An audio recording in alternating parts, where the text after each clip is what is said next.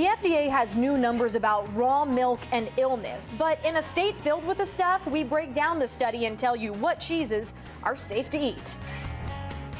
Food and Drug Administration says the majority of dairy-related disease is coming from raw milk. Good evening, I'm Eric Franke. First tonight, some of Madison's cheese experts say the new study doesn't cover all of its bases. New at 10, the 19th Dannika Lewis has what they have to say about these new numbers. Dannika. Well, Eric, it's no industry secret that raw milk cheese is riskier than anything pasteurized. According to the FDA's recent addition, 60% of dairy linked outbreaks over a course of 13 years were raw milk related. But cheese lovers aren't convinced that this is the end of those products. Are we in need of wine?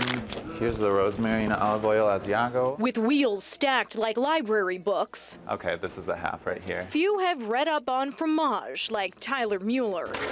This cheese connoisseur discloses anything with raw on the label. Not necessarily because they're 100% more safe, but um, just because they're worried about the possible side effects of consuming raw milk. But a new study begs to differ.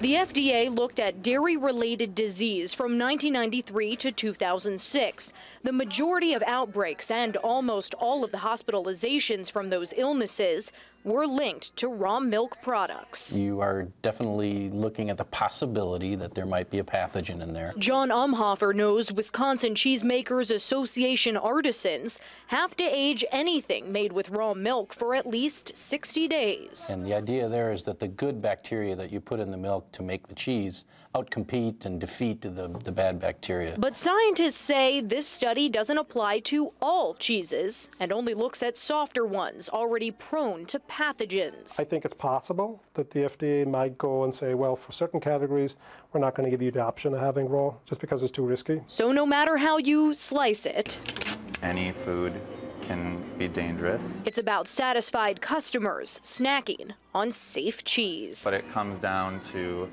the way it's produced, the way it's handled, and the way it's cared for. Now, the government already discourages pregnant women and people with weakness in immune uh, systems from eating raw milk products in the first place. The folks at Fromagination do the same thing, but the shop has customers who come in and believe that there are important benefits to raw milk products and specifically request that kind of cheese. So certainly two different ends of the spectrum here, Eric. All right, Dannika, thanks.